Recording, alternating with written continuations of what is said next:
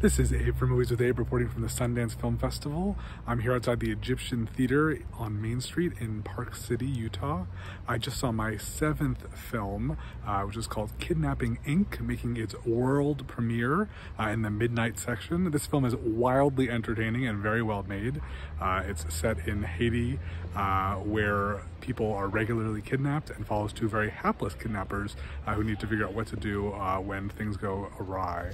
it manages to transform into something serious uh, that's both action-packed and very funny, uh, terrific cast, and just really a very well-made film uh, that's especially interesting uh, when you hear the story behind it and how it's a very serious thing that turns into something that can be so uh, entertaining. But I highly recommend it. I'll have a full review up soon. For now, stay tuned to the Movies YouTube channel. Thanks so much for watching.